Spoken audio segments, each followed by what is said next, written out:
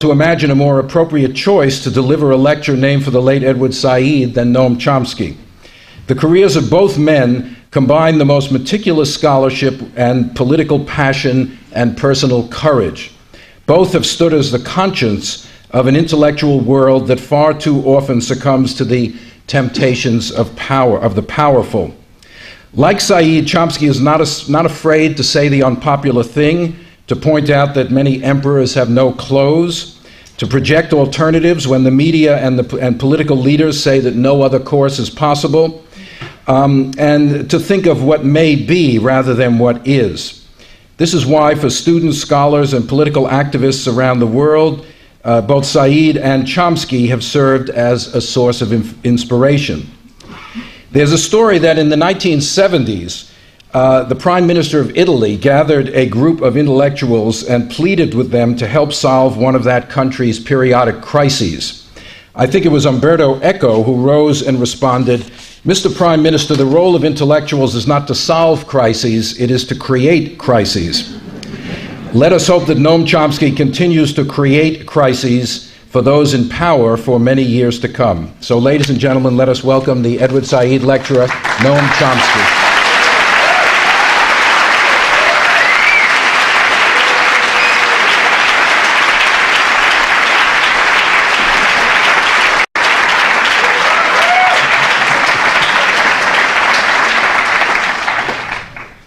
When I was a young teenager, and uh, my father was getting a little nervous about some of the directions I was pursuing.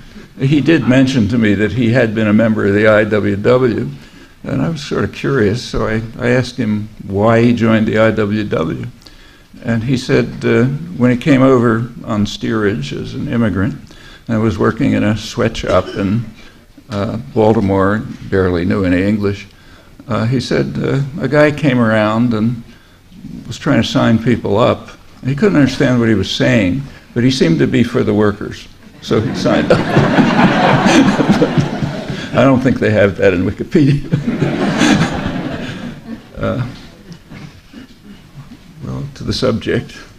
Uh, I think that the greatest singular achievement of Said as a literary critic has been to put imperialism at the center of Western civilization. And what you find in both historical, political literature and literary works in the West in the last 400 years is a great emphasis on the role of enlightenment in the making of civilization and its discourse. You find a great deal of emphasis on rationalism, on democracy, on democratic values, and on liberalism as an aspect of enlightenment uh, there's an almost remarkable tendency to not mention imperialism as shaping the contours of Western civilization in literary criticism and historical writing. There are two times before Said's Orientalism and after Orientalism. Well, I've been quoting the assessment of uh, Edward Said's literary contributions by his close friend and comrade in struggle, uh, Eqbal Ahmad. He was like, like Edward, he was a rare and uh, stellar example of an engaged intellectual uh, dedicated to truth and justice in word and in action. Their passing a few years ago is an irreparable loss for the poor and the suffering of the world, and also for depth and clarity of thought and understanding. Uh, among uh, Edward's many achievements was to draw the culture of imperialism uh, out of the shadows and explore its deep roots and its pervasive implications uh, in many domains. And in these remarks, I'd like to uh, explore some of uh, its specific manifestations, uh, focusing on the events that uh, opened the way to the famous unipolar moment of unchallenged U.S. global hegemony 20 years ago.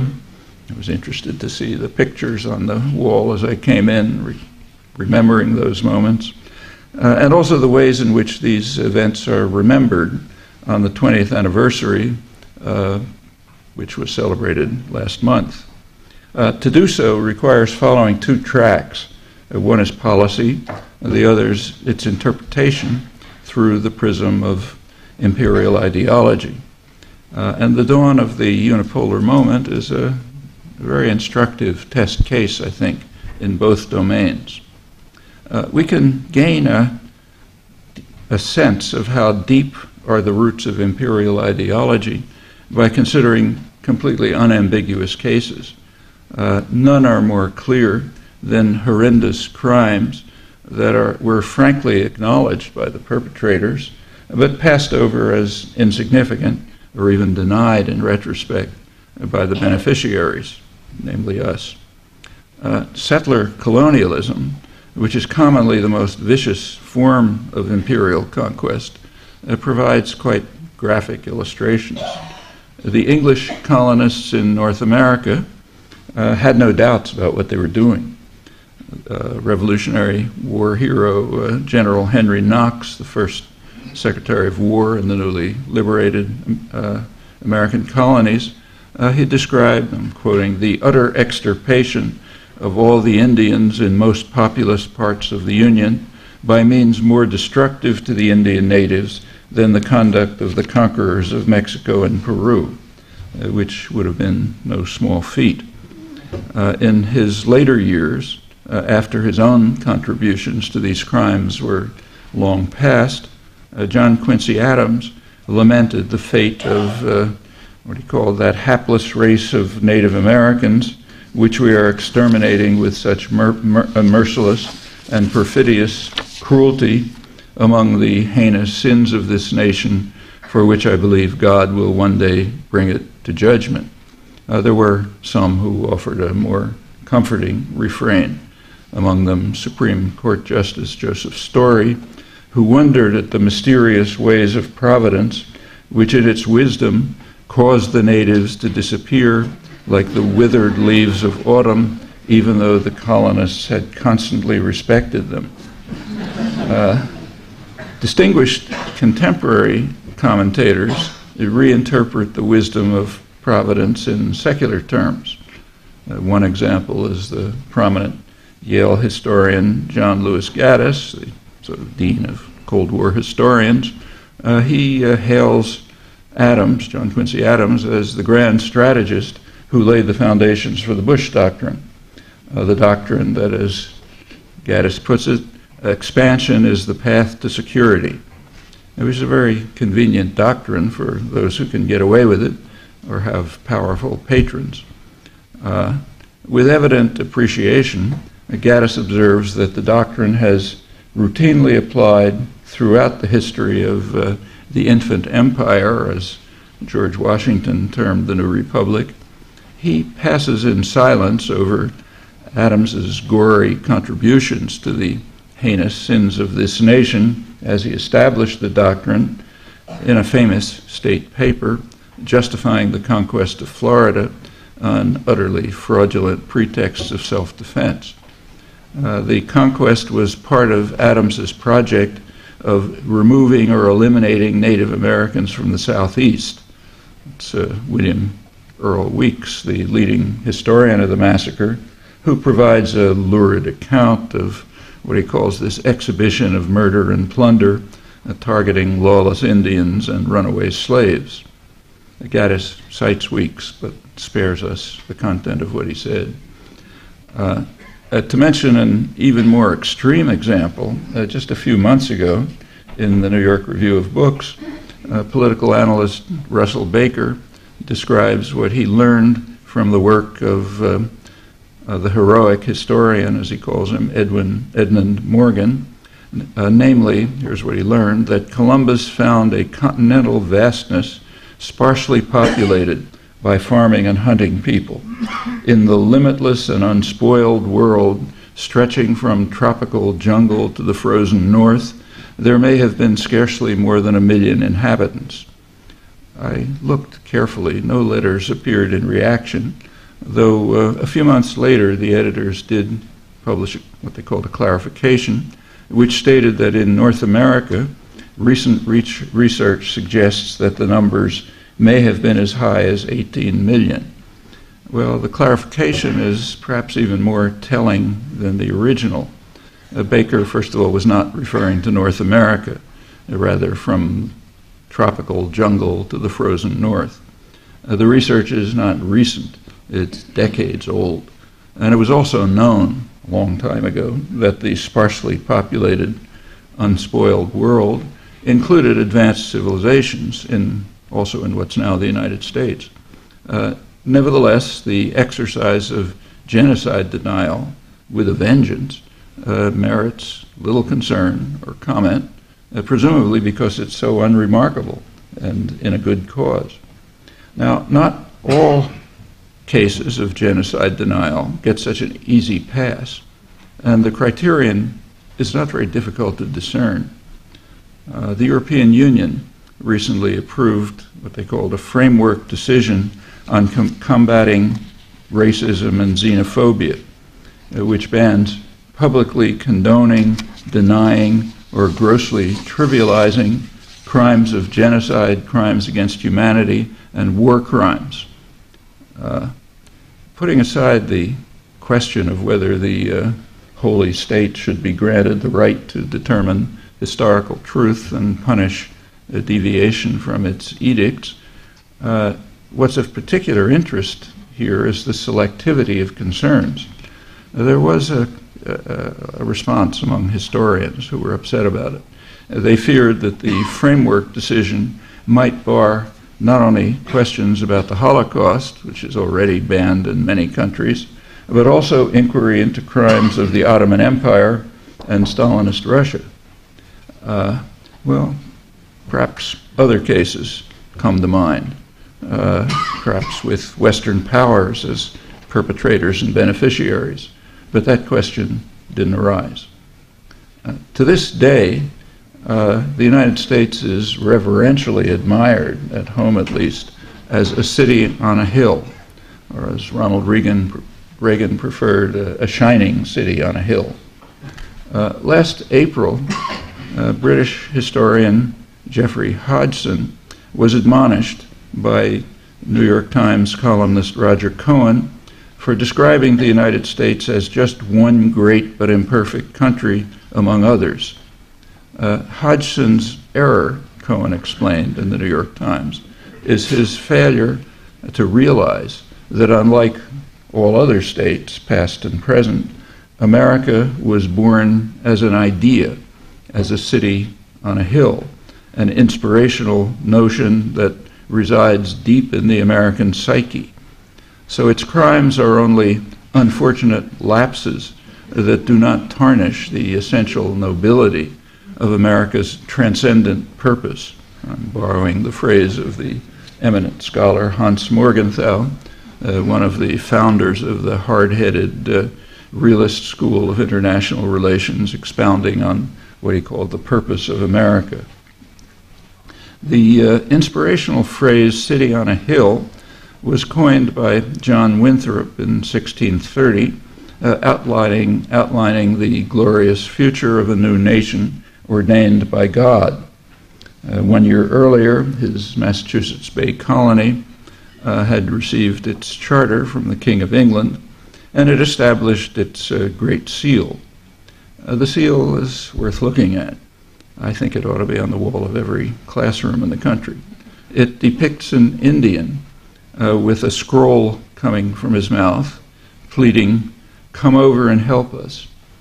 Uh, the charter states that rescuing the population from their bitter pagan fate is the principal end of this plantation. So the English colonists were guided by what Obama's UN ambassador, uh, Susan Rice, calls the emerging international norm that recognizes the responsibility to protect innocent civilians.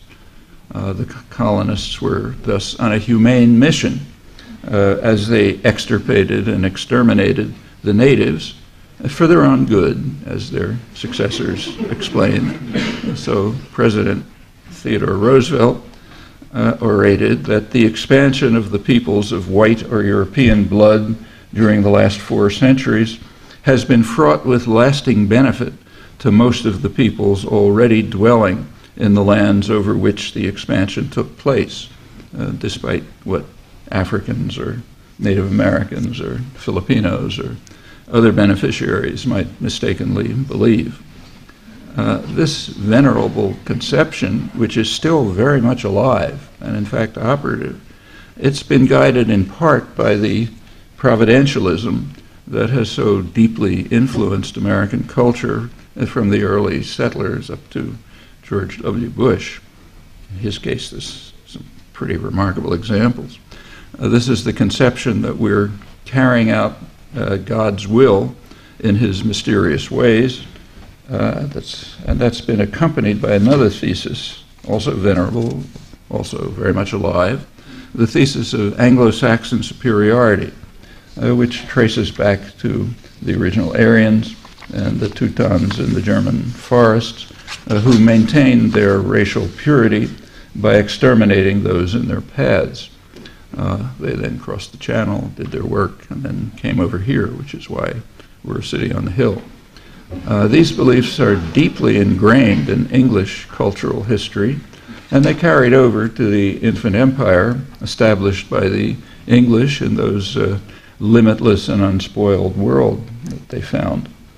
Uh, for the founder of American anthropology, Lewis Morgan, the Aryan family represents the central stream of progress because it produced the highest type of mankind and because it has proved its intrinsic superiority by gradually assuming control of the earth. Uh, Charles Darwin endorsed the view that the history of the culture of mind from Greece to the Roman Empire and onward only appears to have purpose and value when viewed in connection with, or rather as subsidiary to, the great stream of Anglo Saxon emigration to the West, and finally to the United States, where the advance of civilization has reached its peak because the nation produced the greatest number of highly intellectual, energetic, brave, patriotic, and benevolent men.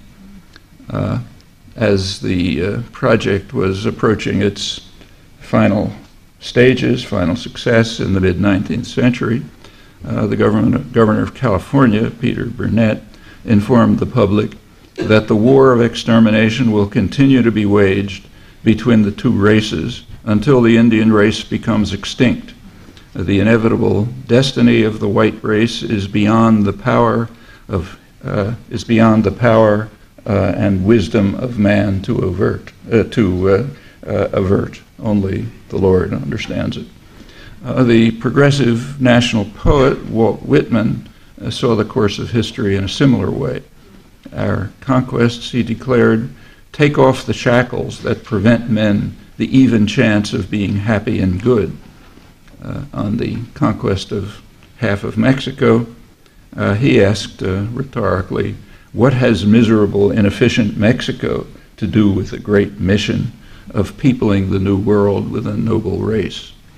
Uh, Ralph Waldo Emerson wrote that it's very certain that the strong British race, which has now overrun much of this continent, uh, must also overrun Texas and Mexico and Oregon also, and it will be in the course of ages of small import uh, by what particular occasions and methods uh, it was done. Uh, it's easy to go on, but examples are really quite unfair because the ideas have been conventional. In fact, they're almost universal. It's hard to find exceptions. Uh, the, uh, there's some. And approaching the present, uh, very few eyebrows were raised, as far as I could see, when a leading scholarly history of U.S. diplomacy, this is 1969, uh, commented wittily that uh, after liberating themselves from British rule, the United Colonies were able to concentrate on the task of felling trees and Indians and of rounding out their national borders. It's liberal scholar Thomas Bailey, the standard histories of American diplomacy. Well, it's important to recognize that after the uh, civilizing effect of the activism of the 60s, uh, such words are no longer acceptable, although there's a long way to go. Well, with these uh, inadequate words of background, let's turn to the present on the double track of policy and ideology, uh, beginning with the latter, with ideology. So let's begin with the month of November 2009.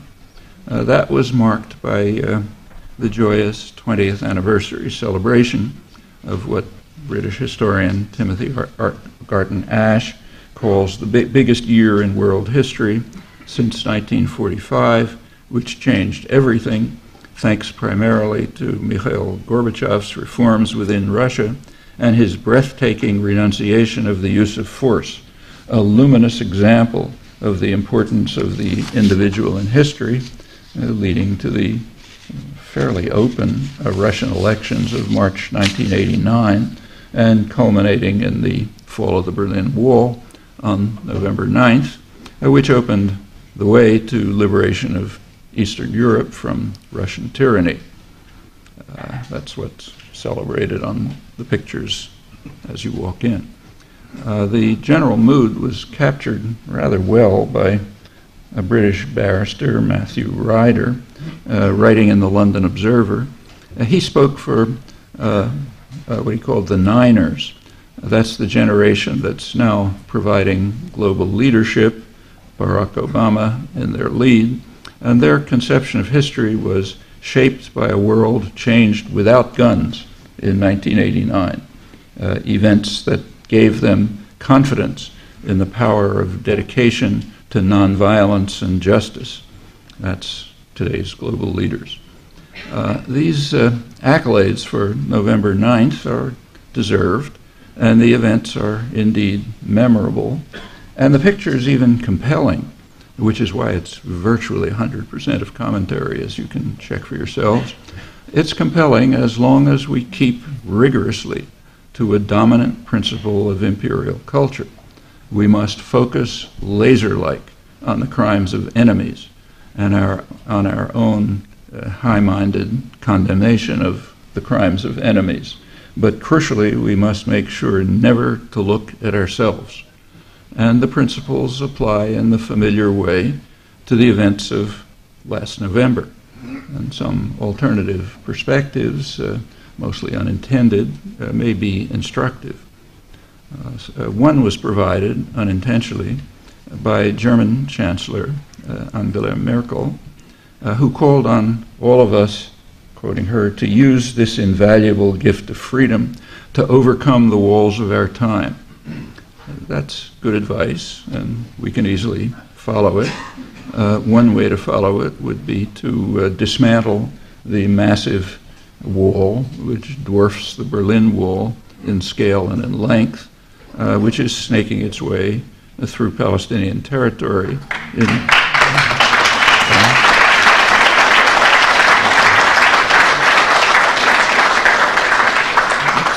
course, in gross violation of international law, if anyone cares about such details. Well, like virtually every state action, this annexation wall, as it should be called, uh, is justified in terms of security. That's a reflex, whatever a state does. Uh, but as is commonly the case, the claim lacks any credibility at all. Uh, if security were the concern, the wall would be built along the border and it could be made completely impregnable. Uh, the purpose of this illegal monstrosity, uh, which uh, is constructed with decisive U.S. Uh, support and European complicity, is to allow Israel to take over valuable Palestinian land and the main water resources of the region. Uh, that's one part of a much broader annexation project which we fund and support. Otherwise, it couldn't continue. Uh, the highest Israeli authorities uh, recognized from the outset that these programs were in direct violation of international law. There was never any ambiguity. It's leading legal authorities in Israel.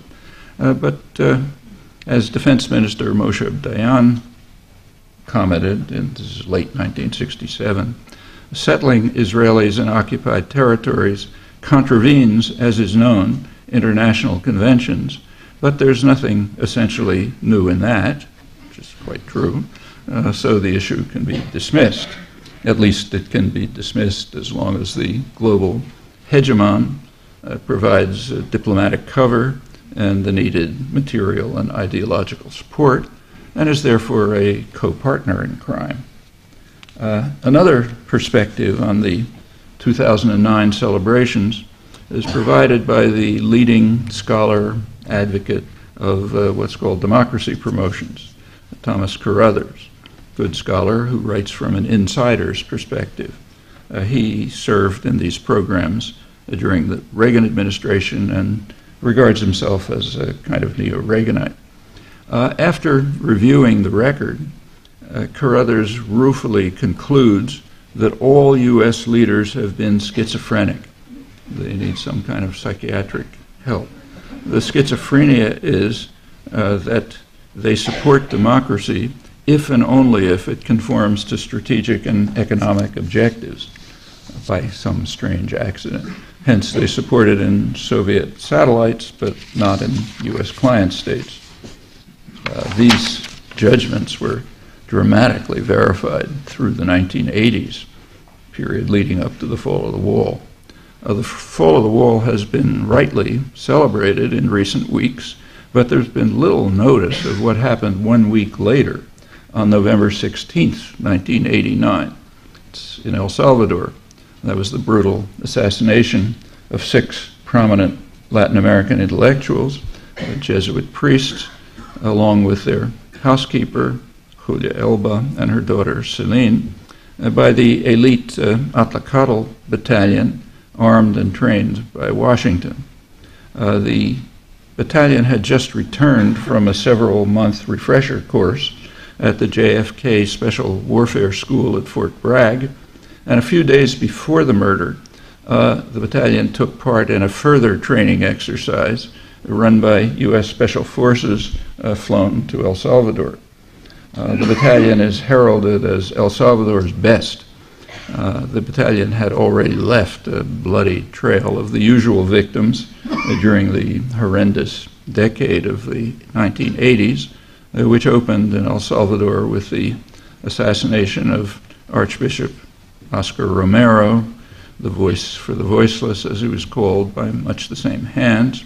And the story was similar throughout Central America, leaving hundreds of thousands of corpses and general misery during a reign of torture, murder, and destruction, uh, guided by the Reagan administration under the guise of the war on terror that they declared in 1981 as they came into office. Well, it was surmised at the time that the murder of the Jesuit intellectuals was planned by the high command of the Salvadoran army. And that was confirmed two weeks ago uh, by the publication in the Spanish press of uh, the document, the actual document ordering the murders uh, and uh, the murder of any witnesses. Uh, this was signed by the chief of staff and his associates. It's all in hand uh, all of them so closely connected to the Pentagon and the embassy, U.S. Embassy, that it's very hard to imagine that Washington was unaware. Uh, these dramatic discoveries have yet to be reported here, and I, am not anticipating that they will. Mainstream Spanish press, wire services, takes some competence to miss them. Uh, one can easily understand why the consciousness of the Niners was shaped, to non shaped by dedication to nonviolence and the power of idealism. Now, that's fair enough if attention is rigorously guided by the culture of imperialism, is focused on their crimes, uh, with ours removed from sight and removed from memory. Now, the contrast through the 1980s between the liberation of Soviet satellites and the violent crushing of hope in U.S. domains is striking and instructive, but it becomes even more so when we broaden the perspective. The assassination of the Jesuit intellectuals uh, was a crushing blow to liberation theology.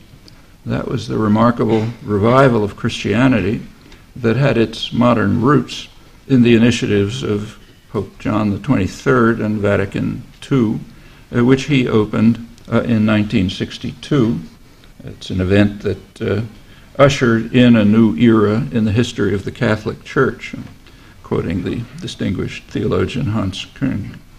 Uh, inspired by Vatican II, uh, Latin American bishops adopted what they called the preferential option for the poor, uh, renewing the radical pacifism of the Gospels that had been put to rest when the Emperor Constantine in the fourth century uh, uh, established Christianity uh, as the religion of the Roman Empire.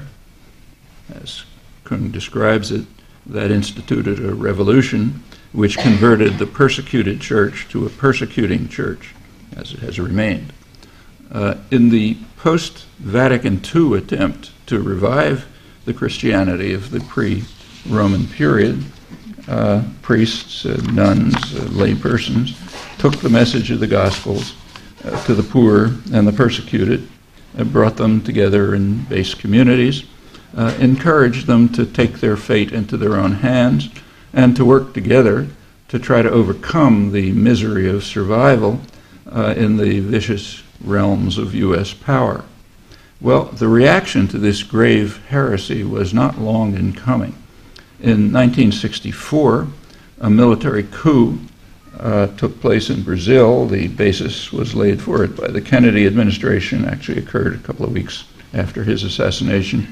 Uh, it established a national security state in Brazil, kind of a neo Nazi national security state.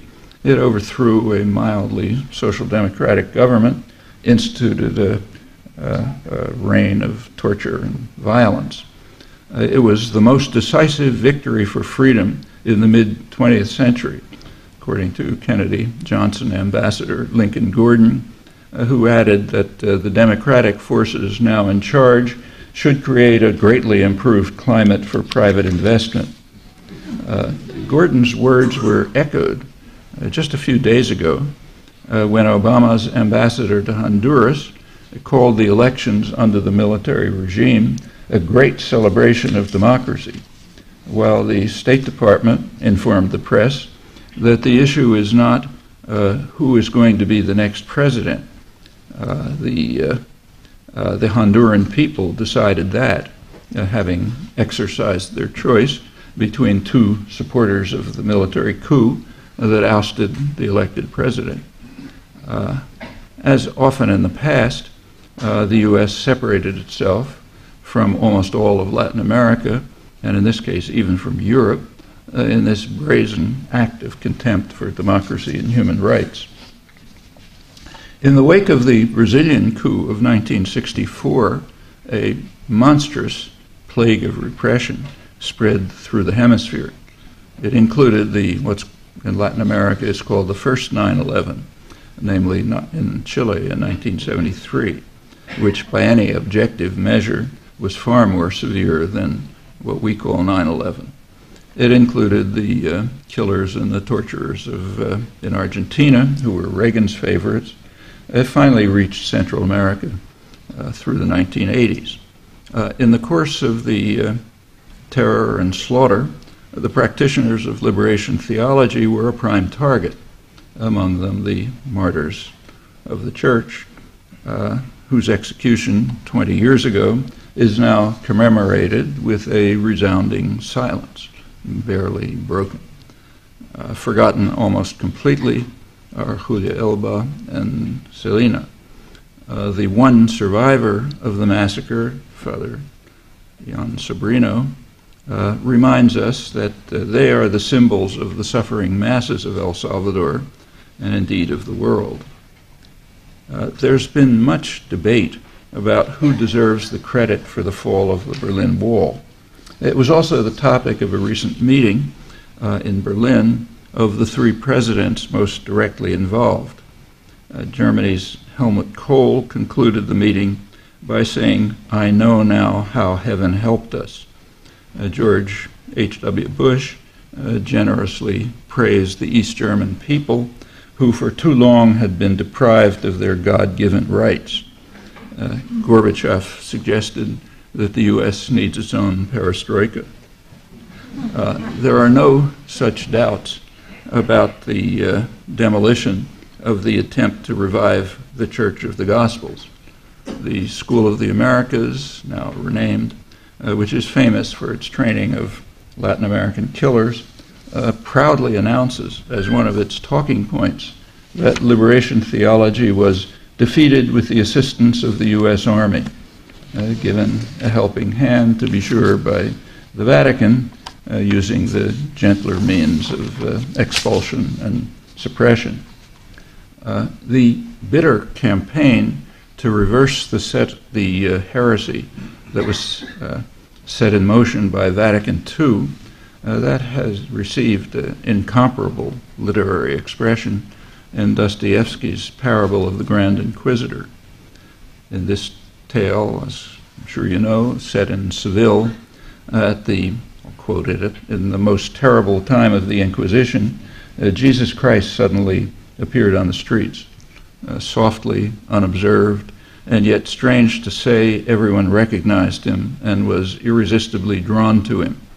The Grand Inquisitor, recognizing the grave danger, uh, bids the guards take him and lead him away to prison, where the old man accuses Christ of coming to hinder us in our great work of destroying the subversive ideas of freedom and community.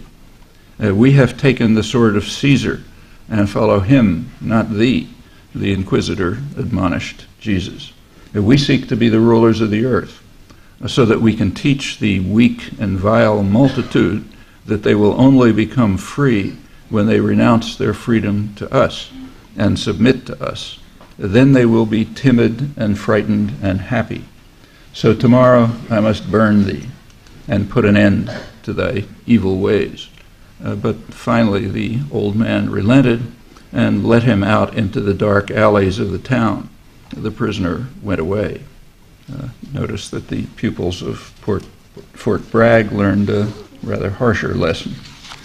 Uh, in 1977, the highly respected Jesuit priest uh, Rutilio Grande uh, preached in El Salvador of his fears that very soon the Bible and the Gospels will not be allowed within our country.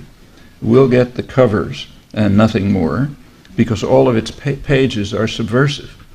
And I fear, my brothers, that if Jesus of Nazareth returned, they would arrest him. They would take him to the courts and accuse him of being uh, unconstitutional and subversive. Uh, his insight into policy was all too accurate. A few Weeks later, he was assassinated, again by the same hands, first of the series of assassinations in Central America of Jesuit priests. Well, these two events, the collapse of Russian tyranny and the destruction of the evil ways of the Gospels, were linked symbolically when the hero of 1989, Václav Havel, came to Washington shortly after the assassination of his Salvadoran counterparts. Uh, he spoke before a joint session of Congress, and he received thunderous applause when he praised the United States as the defenders of freedom. Uh, the intellectual classes were entranced. At the extreme dissident end, uh, Anthony Lewis uh, hailed Havel for teaching us that we live in a romantic age.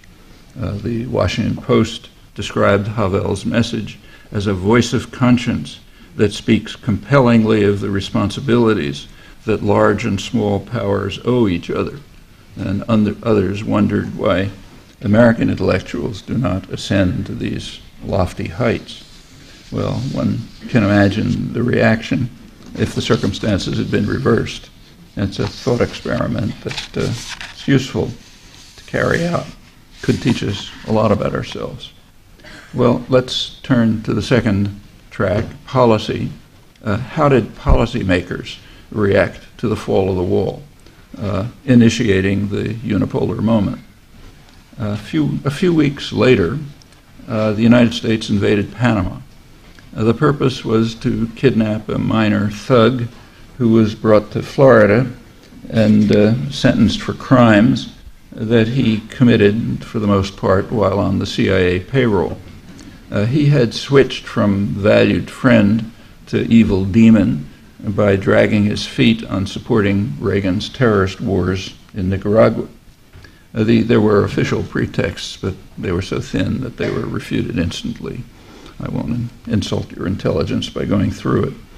Uh, the invasion killed several thousand poor people, according to Panamanian human rights investigators. Uh, there are no official U.S. sources, uh, we don't do body counts, as General Tommy Franks, the conqueror of Iraq, explained. Uh, the invasion uh, re, uh, re, uh, reinstated the rule of U.S. banked, U.S. backed bankers and narco traffickers. In fact, narco trafficking went way up. it's commemorated by a day of mourning in Panama. It was hardly more than a footnote to history, but it did have some new features. Uh, one of them was explained by uh, uh, former State Department official Elliott Abrams, uh, returned since. Uh, he pointed out that uh, this was the first time the United States had been able to intervene without concern for a Russian reaction somewhere in the world. And other prominent commentators uh, elaborated. They pointed out that with the Soviet deterrent gone, the U.S. would be free to resort, resort uh, more readily to force, violence, and subversion to achieve its global aims. Uh, another novelty was that the invasion of Panama could not appeal reflexively to the communist threat. It's a couple of weeks after the fall of the Berlin Wall. Uh, so a new pretext was needed and it was quickly supplied. It was the threat of Hispanic narco traffickers seeking to destroy the United States. Uh, the drug war had, in fact, been declared by Richard Nixon for interesting reasons that I have to put aside, but it took on a new, uh, a new role as the unipolar uh, moment dawned.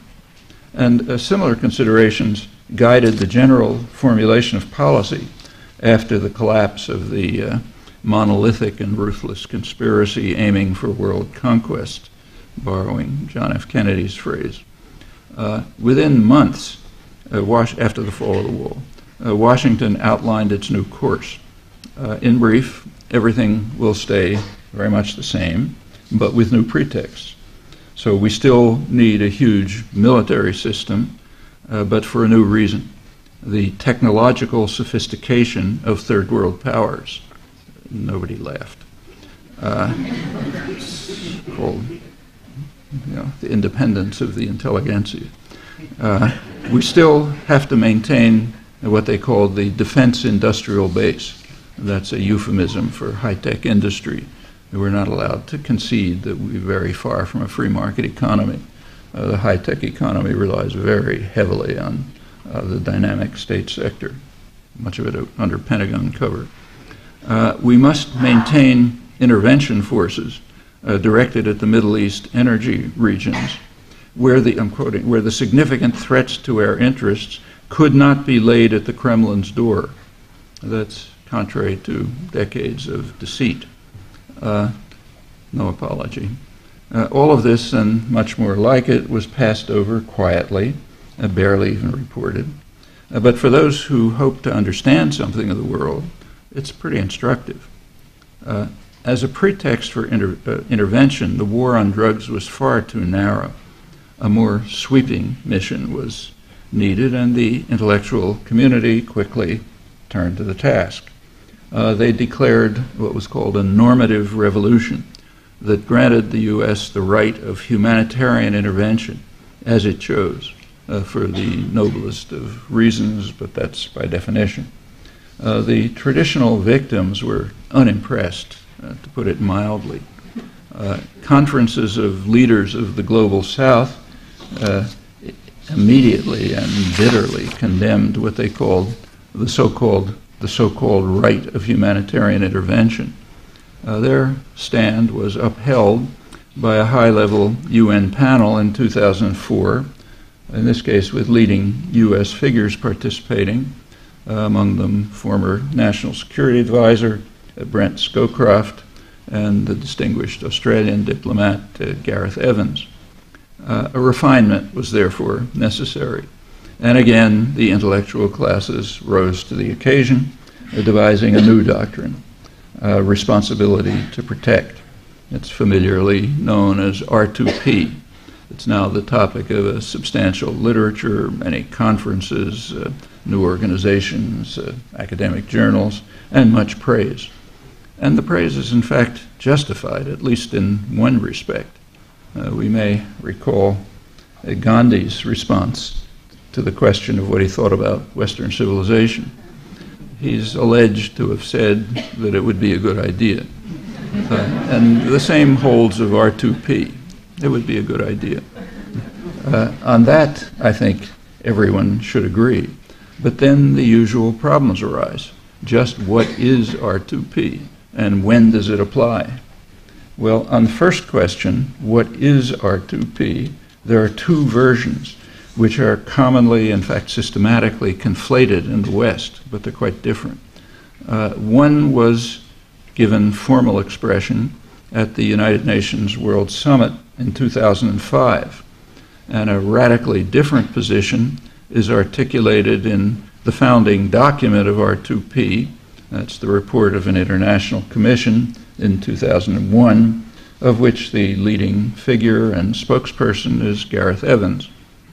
Uh, the World Summit, UN World Summit, basically reiterated positions already adopted and, in fact, implemented by the United Nations, at most with a sharper focus.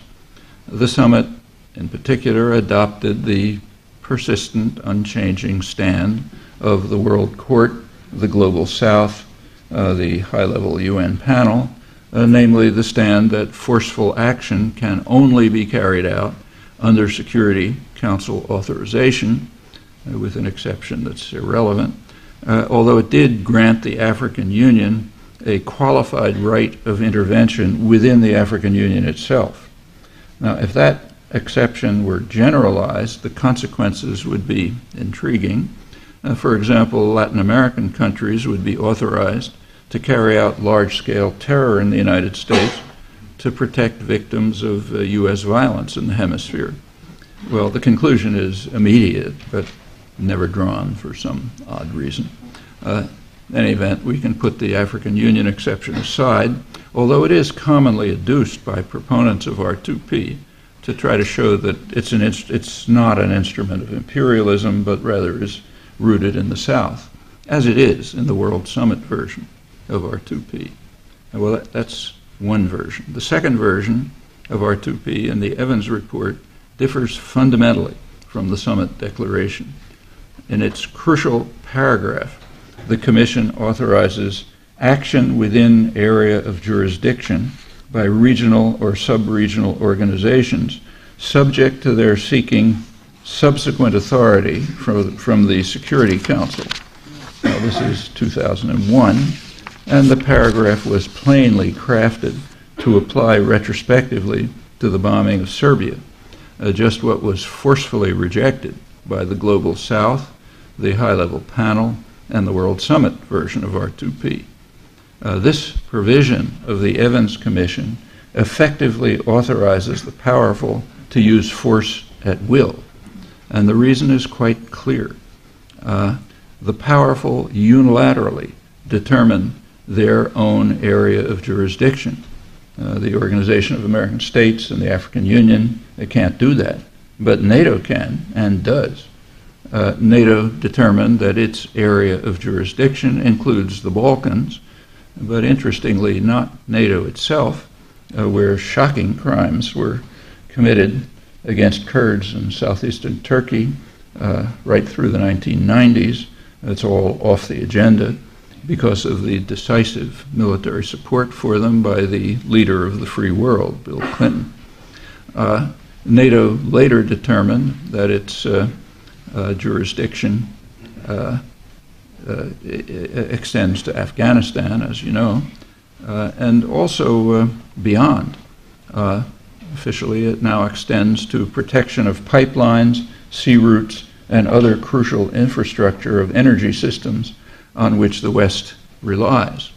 Now, these expansive rights granted by the Evans Commission uh, are in practice restricted to NATO alone, uh, radically violating the principles of the World Summit. And they explicitly open the door for resort to R2P as a weapon of imperial intervention at will. Well, let's turn to the second question How is R2P applied in practice? Uh, the answer will surprise no one who has the slightest familiarity with history or elementary understanding of the structure of power. I'm not going to run through the highly selective application. It's exactly as you'd expect. Uh, but just take a few examples. Uh, there's no thought of devoting pennies uh, to protect the huge numbers of people dying from hunger and lack of health care. That's at a level far beyond, far higher than Rwanda, probably twice the Rwanda level among children alone, uh, and not for 100 days, but every day and increasing. Uh, uh, victims who are uh, protected populations by law, protected populations are also barred from protection, among them the victims of the U.S. Israeli attack in Gaza early this year. Uh, they are protected persons under the uh, Geneva Conventions, but they're not part of the responsibility to protect. Uh, victims who are the direct responsibility of the Security Council also are unable to appeal to R2P. The most striking case is Iraqis uh, subjected to Clinton's murderous sanctions, uh, which were condemned as genocidal by the administrators of the UN programs, the respected international diplomats Denis Halliday and Hans von Sponeck, uh, who successively resigned in protest against these violations of the Genocide Convention. So they're not protected. Uh, also not protected are the victims of, the worst massacres of recent years in the eastern Congo, uh, and only the cynical might suspect that the neglect has something to do with the fact that the worst offender is U.S. ally Rwanda, and that multinationals are making a mint from robbing the region's rich mineral resources uh, with the crucial aid of the militias that are tearing the place to shreds anyone who has a cell phone is a beneficiary, uh, and on and on, exactly as the rational would suspect. Well, returning to the dawn of the unipolar moment after the fall of the wall, uh, another question that came to the fore right away was the fate of NATO. Now, its traditional justification had been defense against the Russian hordes. So, with the USSR gone, pretext evaporated uh, naive souls uh, who had faith in prevailing doctrine and believed what they were taught in school uh, would have expected NATO to disappear as well. Uh, quite the contrary. Uh, NATO quickly was expanded uh, to the east in violation of pledges to Gorbachev.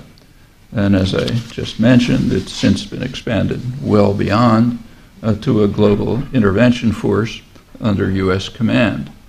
Uh, one mo- motive, very likely, we don't have internal documents, but very likely that one, one motive is to prevent Europe from pursuing an independent course, and perhaps along Gaullist lines. That's been a primary concern of U.S. planners since World War II. Uh, more generally, policies during the unipolar moment and up to the present have kept very closely to the guidelines that were devised by uh, uh FDR's planners during World War II.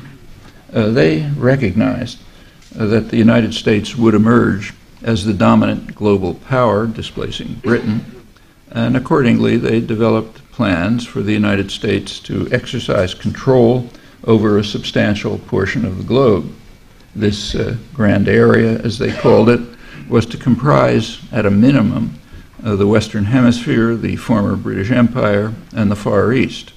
And in the Grand Area, quoting them now, the U.S. would hold unquestioned power and would act to ensure the limitation of any exercise of sovereignty by states that might interfere with its military and economic supremacy.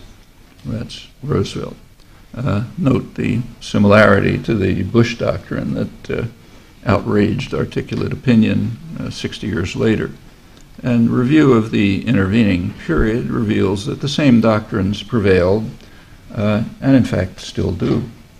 Uh, a good illustration is uh, Bush's immediate predecessor, Bill Clinton.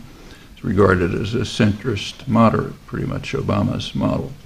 Uh, under Clinton, the U.S. officially reserved the right to act unilaterally when necessary including unilateral use of military power, to ensure uninhibited access to key markets, energy supplies, and strategic resources. Uh, that's without even the pretexts of self defense uh, on which the Bush neocons insisted.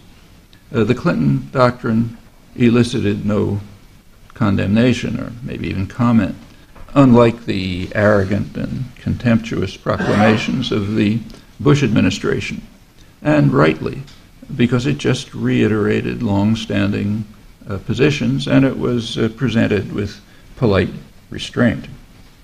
Uh, uh, in the early days of World War II, Roosevelt's planners thought that Germany might prevail in Europe. But as Russia ground down the Wehrmacht, the vision became more expansive.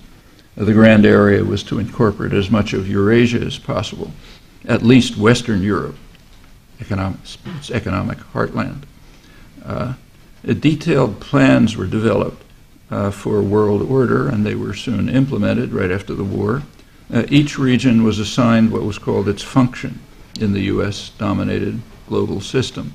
So, for example, Southeast Asia was to fulfill its major function as a source of raw materials for Japan and Western Europe under the US aegis. Uh, the South in general was assigned a service role. Uh, it, uh, it was to provide resources, uh, cheap labor, uh, markets, investment opportunities, uh, more recently, other services such as export of pollution and waste. Uh, that's what's happening in Somalia right now. Uh, at the time, the U.S. was not much interested in Africa.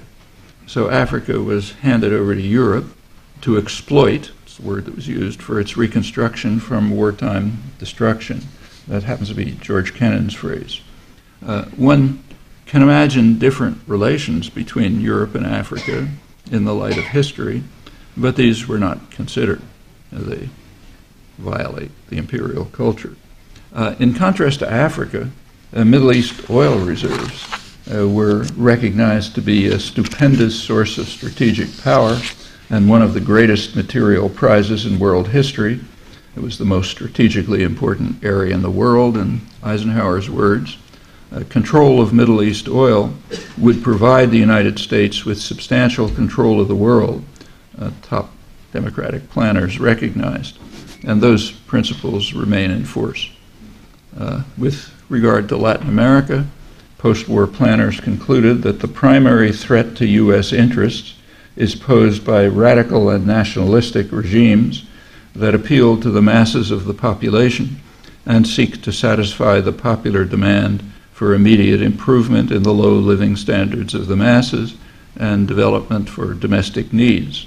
And these tendencies conflict with the requirement of a political and economic climate conducive to private investment with adequate repatriation of profits and protection of our raw materials. Ours, though God happened to place them somewhere else.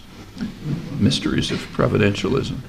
And a large, uh, later on, uh, it wasn't just radical and nationalist regimes, but also this uh, heresy of the effort to revive Christianity, pre Roman Christianity. And a large part of uh, subsequent history uh, flows from these conceptions. A support for harsh dictatorships proceeds unchanged. Uh, as President Obama set off to deliver his highly praised Cairo speech, he hastened to explain that he did not regard Egyptian uh, President uh, Hosni Mubarak as an authoritarian leader. In his words, I tend not to use labels for folks. Uh, when a political leader uses the word folks, you know you're going to shudder at what comes next. Uh, Obama obliged.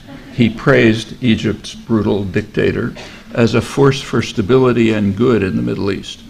Uh, just as in the past, support for democracy and for human rights uh, keeps to the pattern that scholarship has repeatedly discovered standard schizophrenia, uh, correlating very closely with strategic and economic objectives.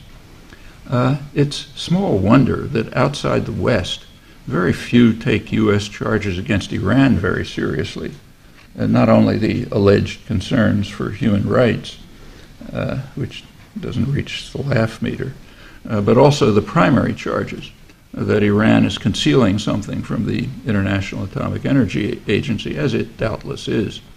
Uh, others are concealing nothing at all. Uh, for example, the three countries that have never signed the Non-Proliferation Treaty uh, India, Pakistan, and Israel, uh, all of which have relied on the United States, on U.S. support for their nuclear weapons programs. Uh, at the peak of the recent furor about Iran, uh, India announced uh, that, quoting, it can now build nuclear weapons with the same destructive power as those in the arsenals of the world's major uh, nuclear powers, which means Pakistan will try weakly to match it. Uh, at the same time, the International Atomic Energy Agency passed a resolution calling on Israel to join the Non Proliferation Treaty and to open up its nuclear facilities to inspection. Well, the U.S. and Europe tried to block the resolution, and when they failed, they voted against it. It passed anyway, and President Obama hastened to assure Israel that the U.S. would support its rejection of the resolution. Uh, the White House also assured its Indian ally that it can ignore Security Council resolutions on nuclear weapons, uh, crucially, the most recent one, uh, Resolution 1887 on September 24th. Uh, that resolution, you may recall, was hailed as a great victory for Obama and his conflict with Iran. But if you bother to read it, it's short. You can find it on the internet. It said nothing about Iran. It was directed against the United States, Israel, and India. Uh, Obama reacted to Resolution 1887 uh, not only by telling India that they can ignore it, but also in a different way. Uh, two days after he was awarded the Nobel Peace Prize for his inspiring commitment to peace, uh, the Pentagon uh, announced that it was accelerating delivery of the most lethal weapons in the arsenal, as short of nuclear weapons. These are 13 ton, kiloton bombs uh, to be delivered by uh, B 52 stealth bombers. Uh, they're designed to destroy deeply hidden bunkers shielded by 10,000 pounds of reinforced concrete. And there's no secret about what they're for. Uh, planning for these uh, massive ordnance penetrators, as they're called, began in the Bush years but languished until Obama came into office and uh, rapidly called for develop, accelerating the development, which is now happening. They've been accelerated by several years and are supposedly coming into the arsenal very soon.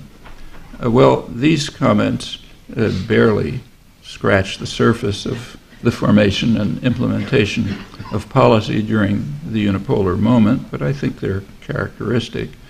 Uh, one significant element is the continuity of planning and, and, and interpretation since World War II, uh, when the United States shouldered the responsibility that was eloquently described by Winston Churchill the responsibility to protect the interests of the satisfied nations whose power places us above the rest, the rich men dwelling in peace within their habitations, to whom the government of the world must be entrusted, uh, now under Washington's guiding hand. And that remains the uh, operative meaning of the fashionable phrase responsibility to protect.